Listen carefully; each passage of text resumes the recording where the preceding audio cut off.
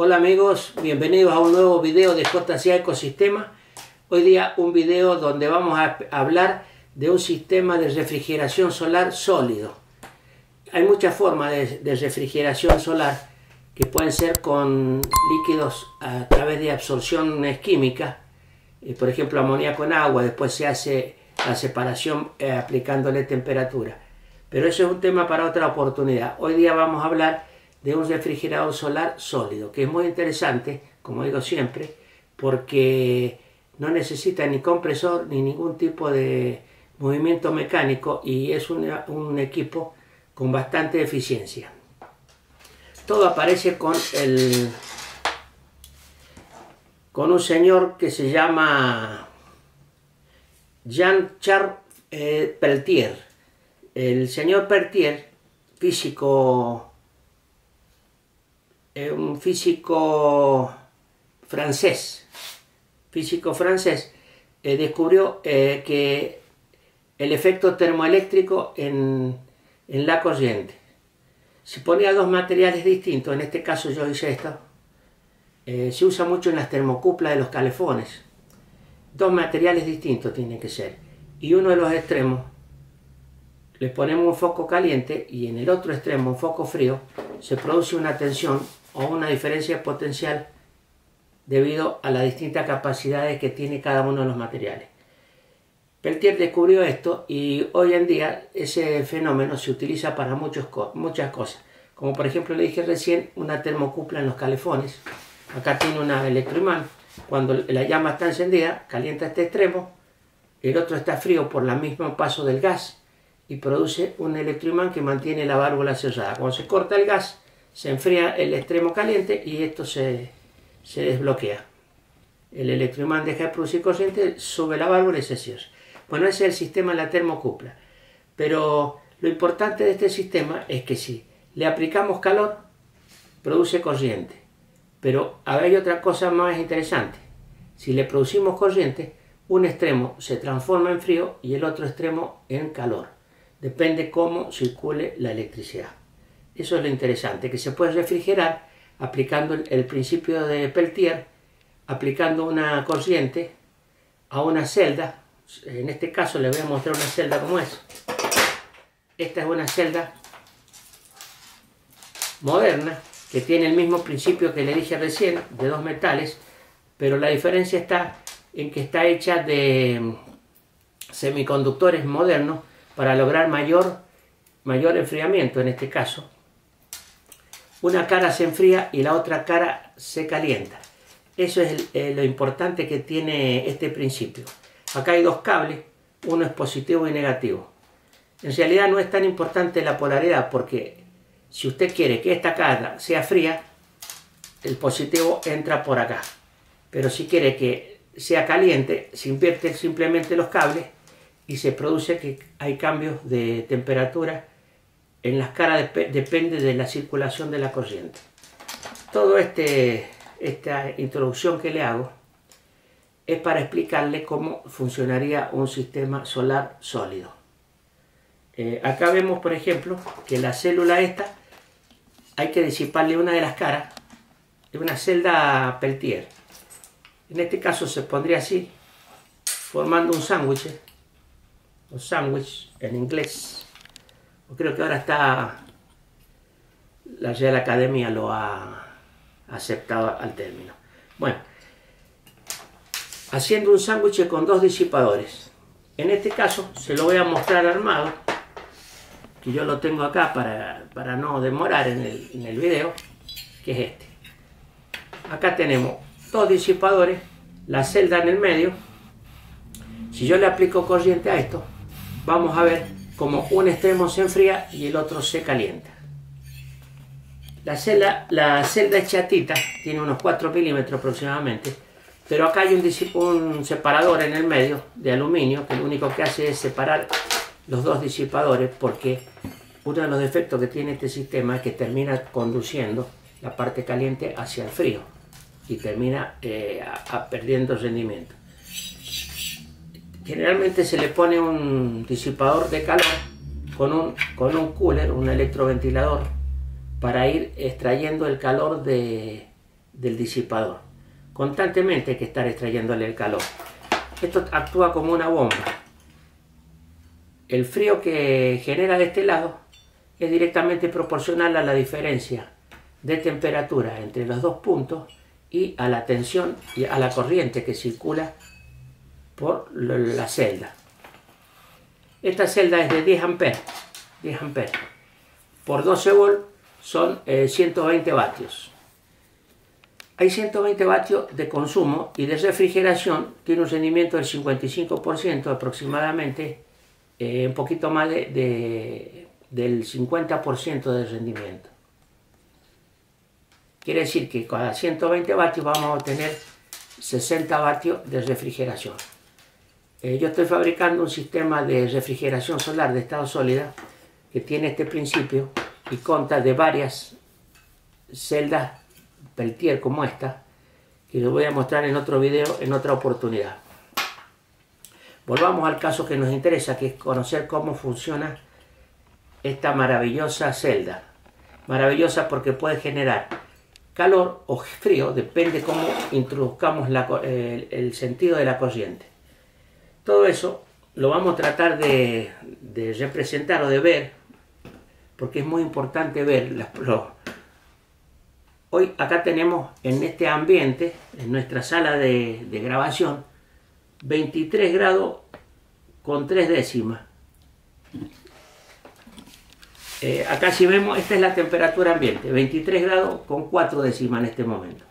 Bueno, ahora yo voy a aplicarle corriente a la celda. Yo por acá tengo un positivo, lo vamos a poner al positivo. Y un negativo que lo voy a poner a través de un amperímetro, que en este caso es un tester, y vamos a ver qué pasa.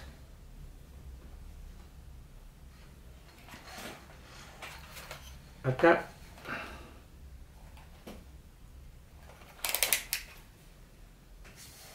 Ahí, ahí sí vemos, no sé si se puede ver bien, está consumiendo 8 amperes con 16 miliamperes.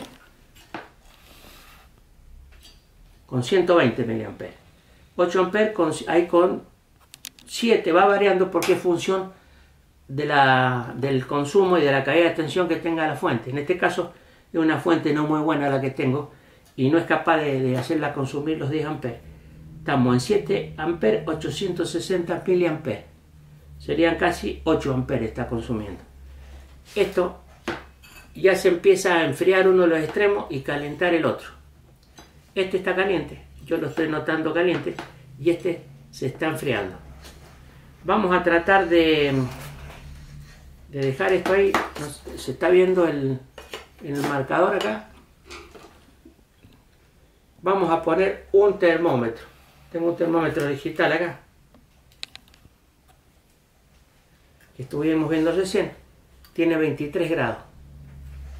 Ahora vamos a poner en el, en el lugar caliente. Demora un ratito en reaccionar por la, la inercia térmica. 23.9, 24, 24.9, 25, 28, 26, 27, 28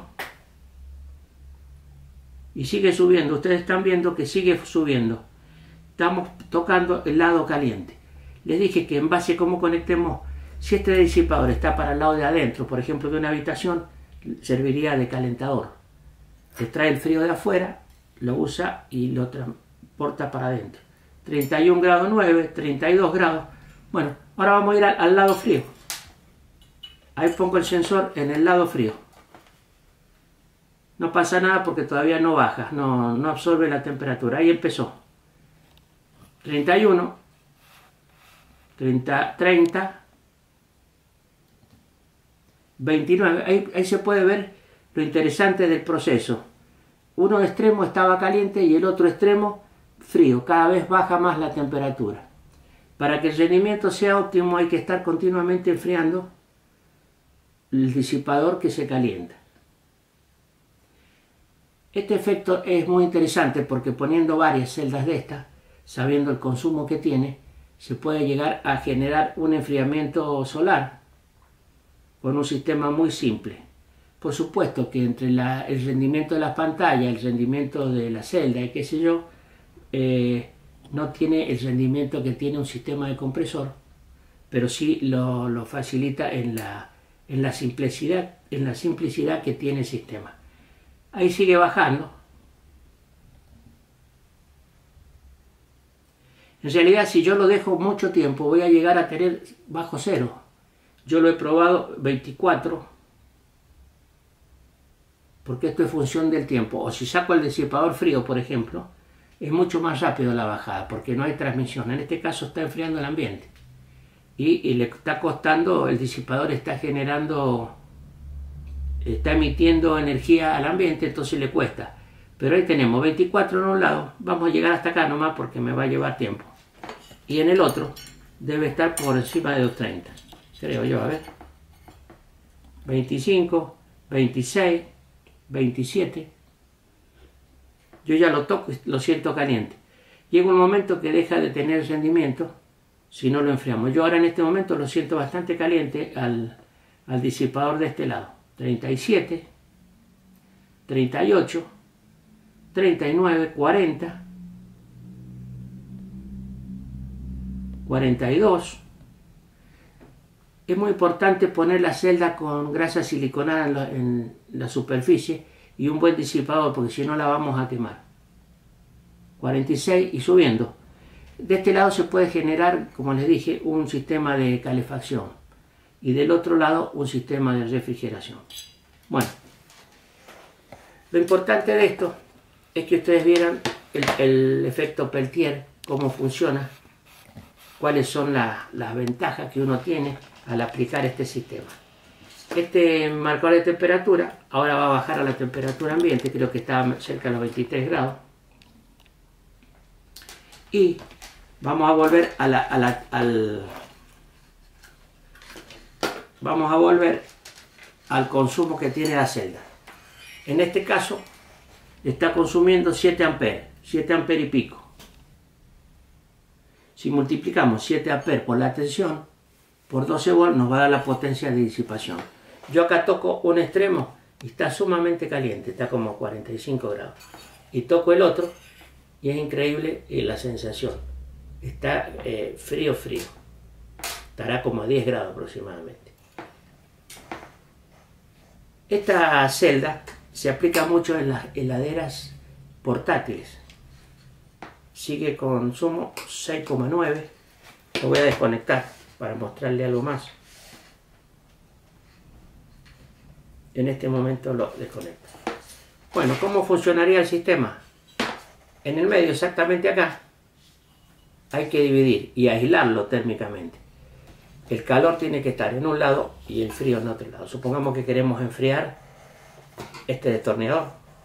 Tenemos que aislar esta zona y disipar continuamente el calor el calor del, destornillador lo va a absorber la parte fría, el sistema eléctrico va a generar como una bomba, absorbe el calor del destornillador. Porque esta zona está más fría que el destornillador, y la expulsa por este radiador, que con un cooler uno lo expulsa al aire.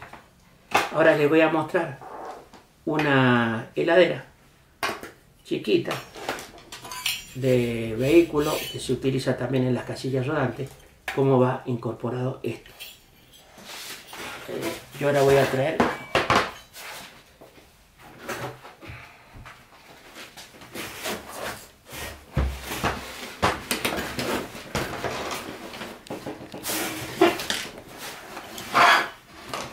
Este es un recipiente aislado térmicamente. Tiene una tapa totalmente aislado. Y esta celda se incorpora en este lugar. Quedando la parte caliente hacia afuera y la parte fría hacia adentro. Como está aislado por el tegopor, en este caso es poliuretano expandido, produce la refrigeración. El mismo sistema aplicado a una calefacción de ambiente se puede hacer un equipo de aire acondicionado solar, que es mi intención. Y en, en un próximo video voy a mostrar cómo haría una placa para calefaccionar una habitación con energía solar en estado sólido. Bueno amigos, esto era lo que le quería explicar, lo interesante del, del proceso. El genio de Peltier nos ayudó a, a poder producir esta refrigeración. Les diría que si le gustó el video, denle like. Si le interesa, suscríbase. Y quedemos hasta la próxima en un nuevo video. Espero que le haya gustado.